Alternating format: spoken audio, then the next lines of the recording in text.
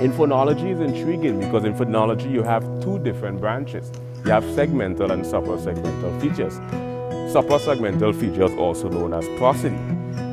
Suprasegmental features also known as prosody explores areas like rhythm, pitch, meter, and actually intonation, inflection, cadence, and tonal modulation. So what does phonological features have to do with manic episode? When bipolar goes into man to mania, right, their tonality change.